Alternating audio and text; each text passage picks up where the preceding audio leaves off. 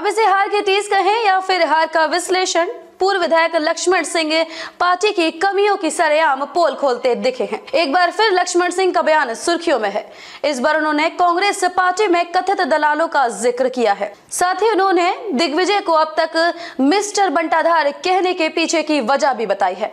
इतना ही नहीं, उन्होंने तो कांग्रेस की हार की वजह ईवीएम को ही नहीं, बल्कि किसी और को ही बताया है। चाचौड़ा में उन्होंने कहा कि जहाँ जहाँ राज्यसभा की सांसद निधि दी गई है वहाँ वहाँ कांग्रेस हारी है।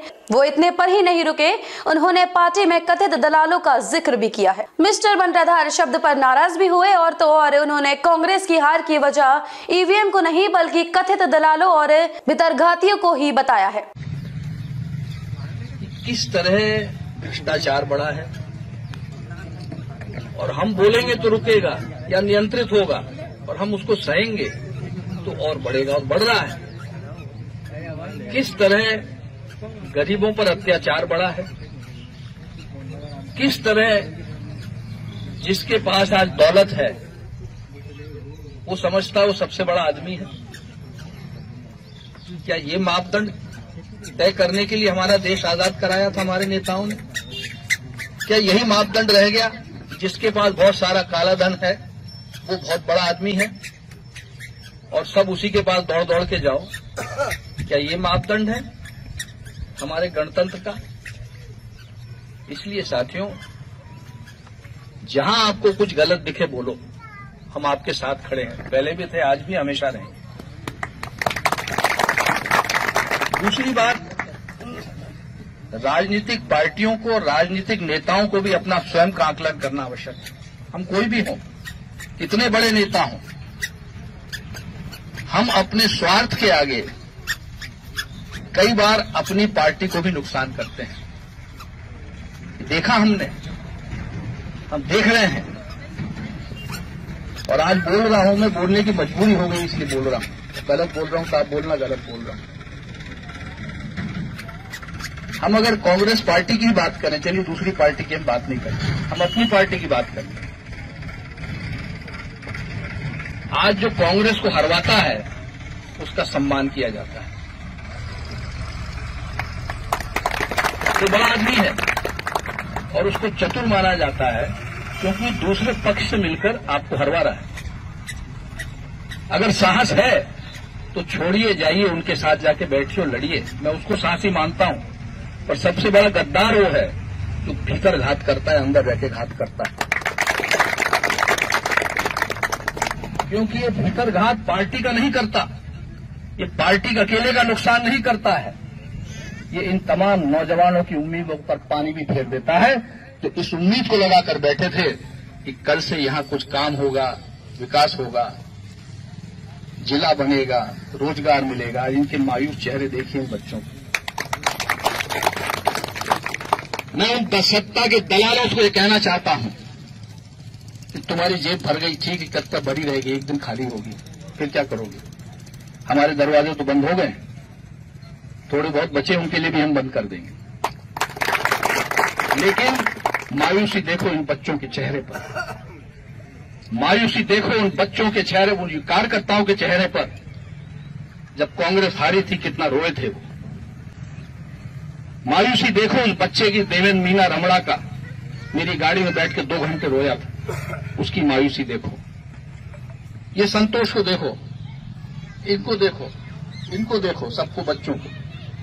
तो दौड़ दौड़ कर काम करते थे, आज थोड़े मायूस हैं। लेकिन चिंता मत करो, साथियों। हम खड़े हैं आपके साथ। कम से कम मैं तो खड़ा ही हूँ और कोई खड़ा हो ना हो। आँच नहीं आने दूँगा आप पर। और रोज़गार के अवसर तो खुलेंगे, चाचौड़ा में आज भी कल खुलेंगे। लड़ेंगे इसके लिए। और एक बात और कहना चाहूँगा, बड़े भारी मन से मैं कह रहा हूँ। हमने कैसे कांग्रेस पार्टी को खड़ा किया था चांचौड़ा में हम जानते हैं। जब हम पैंतीस हज़ार से हारे थे, उसके बाद कितने कठिन संघर्ष करके खड़ी की थी पार्टी। और कोई मैंने नहीं की थी कि कार्यकर्ताओं ने की थी। तो कार्यकर्ता पार्टी को खड़ा कर सकते हैं। ये कार्यकर्ता की ताकत होती है। और अठारह में जब कांग्रेस का गठन हुआ था तो केवल बहत्तर लोग थे उस बैठक में जो बंबई में हुई थी। बहत्तर लोग इकट्ठे हुए, ए यूम जो थे, उन्होंने मीटिंग को बुलाया डब्ल्यू सी बैनर्जी पार्टी के अध्यक्ष बने, और उन बहत्तर लोगों का साहस देखिए, उन बहत्तर लोगों के साहस ने कांग्रेस पार्टी का गठन किया, देश को आज़ाद कराया, और इतने साल तक राज किया ये कांग्रेस पार्टी है ये।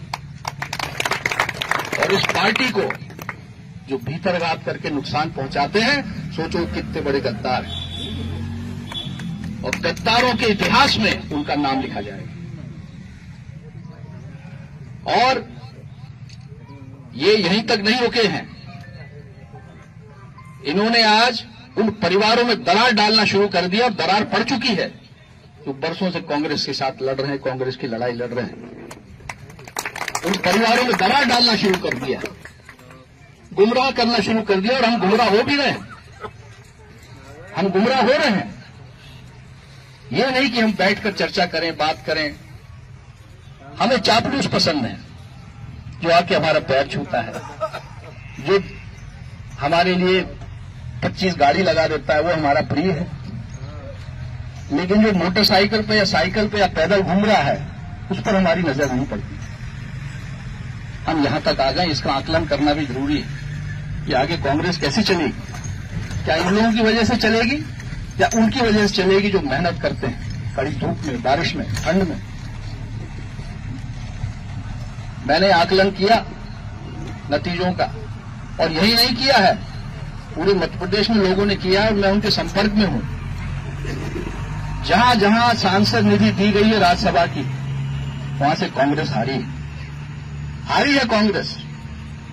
अब ये राज्यसभा निधि हारने के लिए, हराने के लिए दी गई कि जिताने के लिए दी गई थी? इसका आकलन करना भी ज़रूरी है। और जितने हमारे राज्यसभा सदस्य मध्य प्रदेश में उनको आकलन करने की ज़रूरत है। आज सांसद प्रतिनिधि बढ़ने की होड़, बनने की होड़ लगी तो अब तो कुछ बचा नहीं। तो सांसद प्रतिनिधि बनो। और उनको चुन चुन कर बनाया जा रहा है जिन्होंने चुनाव में विरोध किया था। ये कुमराज का उदाहरण। संभवतः वो लोग सभा में होंगे भी तो ऐसे लोगों को अब बर्दाश्त नहीं किया जाए। आज इन दलालों ने ये हालत कर दी है कि जो हमारा सर्वमान्य नेता रहा है, उनका क्या स्तर बना दिया राजनीति आज हम ईवीएम को दोष देते हैं। क्या ईवीएम ने यह कहा था कि यह सांसद निधि यहाँ देना, जहाँ कांग्रेस हार जाए? क्या ईवीएम मशीन ने कहा था? क्या ईवीएम मशीन ने यह कहा है कि इसको सांसद प्रतिनिधि बनाओ, क्योंकि इसने कांग्रेस को हरवाया है। क्या ईवीएम मशीन ने कहा था? कि हम कर रहे हैं और दोष ईवीएम को दे रहे हैं। कुछ मशीनें खराब हो सकती हैं, लेकिन सारी मशीन खराब है। ऐसा नहीं है। क्या 20 साल से हो रहा है ऐसा? और ईवीएम मशीन कौन लाया है? ईवीएम मशीन कांग्रेस पार्टी लाई। ऐसा नहीं है। ये भीतरघात है और उन दलालों की हरकत है।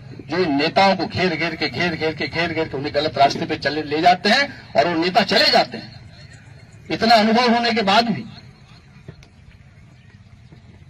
तो साथियों, ये सब कहना आवश्यक है। और मुझे बड़ा बुरा लगता है कि आज उनका नाम मिस्टर बंटाधार रखा है, बीजेपी ने रखा है। बीस साल पहले रखा था और वो नाम आज भी चल रहा है। क्यों चल रहा है? इसका आकलन करना भी ज़रूरी है। ऐसा क्या किया है?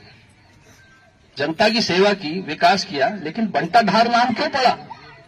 और क्यों चलाया और क्यों बीजेपी को वोट मिलते बंटाधार होते बंटाधार एक नाम ले वैसे ये पहली बार नहीं है जब लक्ष्मण सिंह अपनी ही पार्टी के खिलाफ बोलते दिखे हों। हाल ही उन्होंने राहुल गांधी को लेकर भी बयान दिया है कि वो उन्हें बड़े नेता नहीं मानते। लक्ष्मण कई बार ऐसे बयान देते रहे हैं। खबरों में अब तक के लिए बस इतना ही। फिर होगी आपसे मुलाकात ऐसी किसी बड़ी और खास खबर के साथ। तब तक के लिए नमस्कार और देखते रहिए द खबरदार न्यूज़।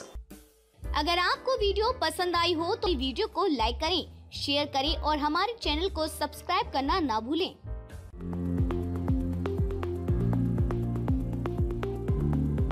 अपने सपनों का घर बना रहे हैं। एपी कंस्ट्रक्शन सॉल्यूशंस आपके लिए तैयार है। मज़बूत सिविल इंजीनियरिंग से लेकर आकर्षक वास्तुकला और विशेषज्ञ वास्तु परामर्श तक हम आपके सपने को साकार करते हैं। वास्तुकला, वास्तु और हुनर इतने बढ़िया। दिए गए नंबर पर कॉल करें और अपने घर के डिज़ाइन को चमकाएँ। Please visit the mountain cafe and bakery for fast food nearby Sohagi Bypass.